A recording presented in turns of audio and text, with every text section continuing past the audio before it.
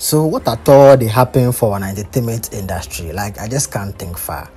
Alright guys, so welcome back to the Entertainment Bar Show right here on that team. And as always, if you're new here and you haven't subscribed to this channel, can you subscribe by clicking on the subscribe button below and also click on the bell icon right next to subscribe button so anytime drop a new content, you will be the first to be notified. Yeah, so today's bars we have a video of Pappy Kojo receiving a BJ from a white lady and it seems he's competing with Jay Bahd. Can you imagine?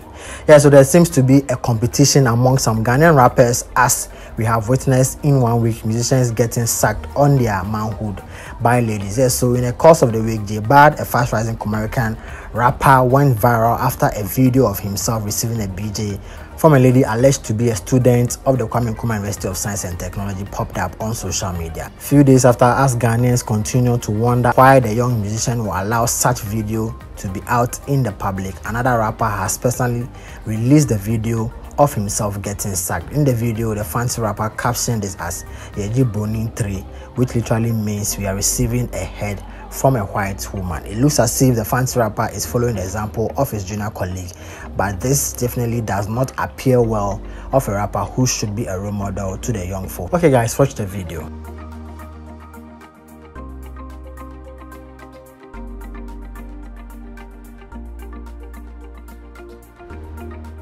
Now, guys, after watching the video, what is your candid opinion and thoughts on this particular issue? Looking at a rapper like Pappy Kojo, instead of him to be setting an example for the I mean the young artist or the upcoming artist to follow suit, he's rather following the trends or following the steps of the young artist. Right now, who is following who?